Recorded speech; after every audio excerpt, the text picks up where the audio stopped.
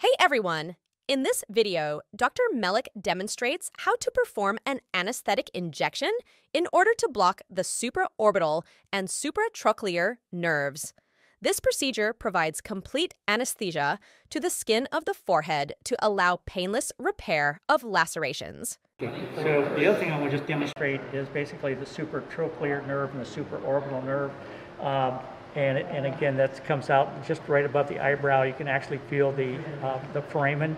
And, um, and, and essentially, um, both of these nerves then will do an anesthesia for the entire forehead as well as the, uh, the, the muscles. Let me interrupt Dr. Mellick to describe the indications for this procedure, as well as list off the equipment you will need.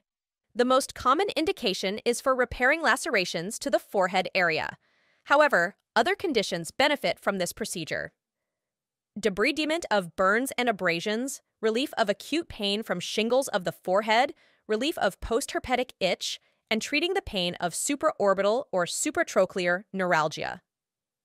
The equipment you will need include a 3 to 5 milliliter syringe, 2% lidocaine or 0.5% bupivacaine, an 18 gauge needle to draw up the medication, a 25 or 27 gauge inch and a half needle for injecting the anesthetic, gloves, gauze, and chlorhexidine or betadine solution to sterilize the skin.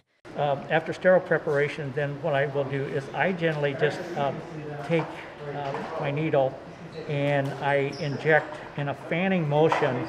I just go straight across and I get both nerves um, as I inject. I, I, move fast. In general, the recommendations is to aspirate, but uh, since I'm moving fairly fast back and forth, I, I don't aspirate routinely.